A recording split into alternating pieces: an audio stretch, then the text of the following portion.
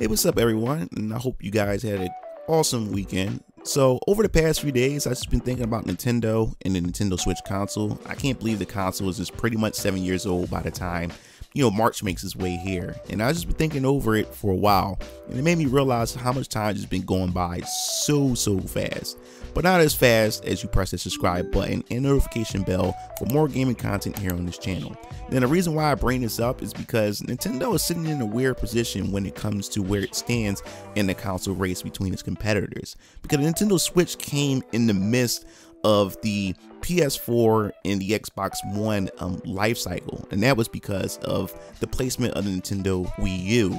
Now, I've always said that the Wii U is similar to the Sega Dreamcast because the Wii U is a pretty good console, and so was the Sega Dreamcast, and it just died the death that I feel as though it did it didn't deserve because there was a, quite a few gems that could be found on Nintendo Wii U, but Nintendo had to make a decision as fast as possible because they couldn't maintain any of the growth or sales. Nintendo 3DS was pretty much holding Nintendo together when it came to its competition. So they had to come up with Nintendo Switch and they had to put it together and assemble it right away. So the Nintendo Switch had came in just at a weird time so now when you just fast forward, you look at the Nintendo Switch. The Nintendo Switch is pretty much past its life cycle and it's about time that Nintendo's you know pretty much release its next generation console. But at the same time, Nintendo is sitting good when it comes to its software and hardware sales. So would it make sense for Nintendo to just release new hardware in the midst of its success? Now, it's really hard to answer that question because on one end, why introduce new hardware where your current hardware is sitting pretty much pretty at the moment?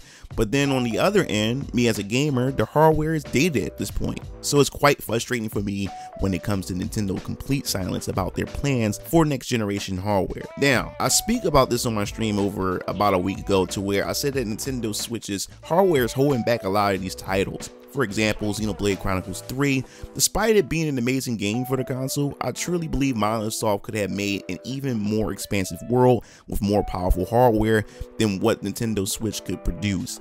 We had The Legend of Zelda Tears of the Kingdom coming just around the corner, and despite the game looking really good on the Nintendo Switch, we know there will be sacrifices needed in order to achieve the visual fidelity that the game presents itself with. It comes at a cost of frame rate reductions, texture pop-ins, or anything else, you know, working in the background. We already seen what the most recent uh, Pokemon open world games has produced. Now, I know that's more so incompetency on the developers, but it still doesn't disregard the fact is that the Nintendo Switch is working really hard to be able to create these expansive worlds, and new hardware is definitely needed.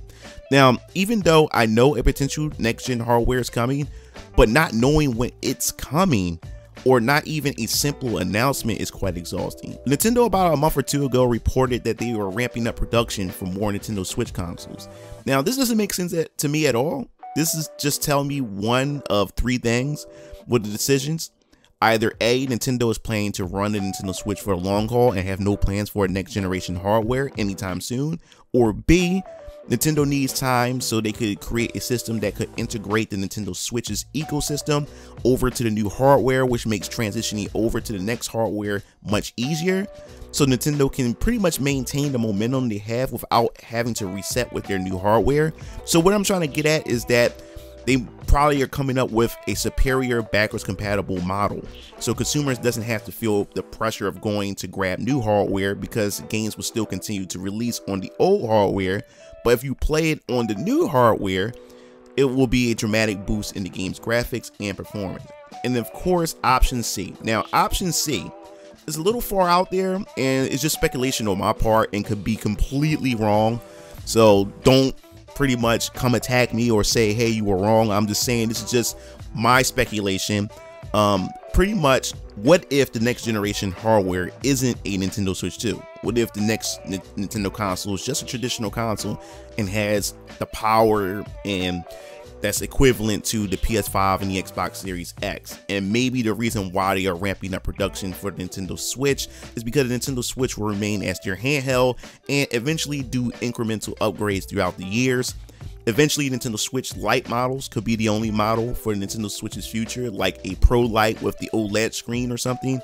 Like I said, That may not be the case since Nintendo masterly blended both home console and portable into one, but Nintendo is Nintendo, and they oftentimes make decisions we disagree with. This is definitely an option that's left on the table, so don't put it past Nintendo to not think of something like this. Nintendo most certainly have to announce something. If the rumors were true, if you don't know, there was a rumor that dropped that Nintendo has nothing to present during the E3 window because for the rest of the year, Nintendo will have nothing really heavy to release after the release of Legend of Zelda Tears of the Kingdom. Now, that has me a little worried because it sounds like Nintendo Switch is running its end, but Nintendo's messaging says otherwise. We do have games like Baten Kaitos Remastered, Deca Police, Octopath Traveler 2, and Pikmin 4 sprinkle in there, but everything else is left a mystery for the console.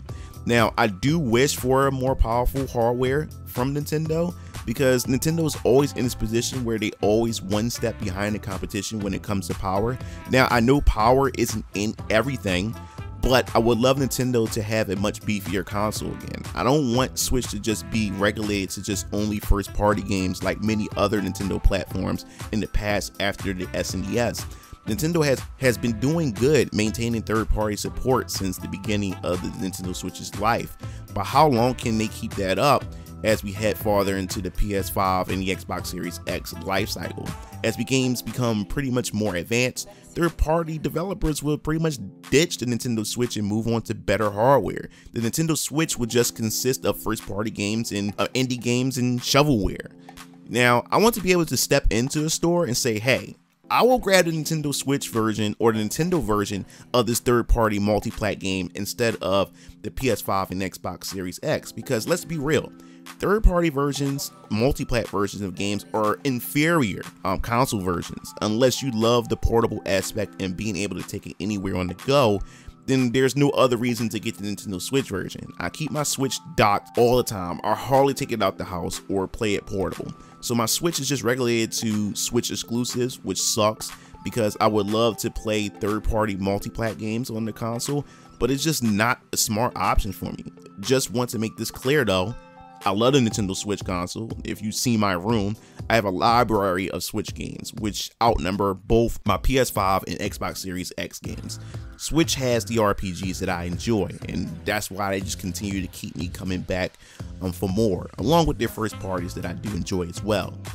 So I thank them for that, but come on, Nintendo, what's your game plan for the future of the company and its console? So that pretty much wraps up this video. I definitely want to hear your thoughts. What is Nintendo planning? You know, like this is the most frustrating time for me because normally Nintendo will come out with a game plan or there's always been rumors and speculation that we're going to hear an announcement for a next gen console, but Nintendo has been really, like, really, really good at keeping information closed shut. Every person that said that we was going to get a pro version of the Switch it never happened. Not saying it will, it will never happen, but it never came at the time it's supposed to come. And now we starting to, I'm starting to think, you know, did they decide to scrap it and just say, let's just move on to the next hardware because we are on the seventh year of this console. So does it make sense to do a pro at this point? So I definitely want to hear your thoughts. What are your whole thoughts on Nintendo Switch as a console? And what do you think about its life cycle? Do you think it still has some more years left in it to pump out or do you think it's time to move on to the next hardware? And do you think the next hardware is going to be a nintendo switch 2 or do you or do you think it's going to be a traditional console? Your thoughts in the comment section below. If you enjoyed the video hit that like button because it definitely helps me in the algorithm. And also hit that bell to be notified for more gaming news and updates. This is MugenLord sign off. I see you game fiends later. Peace out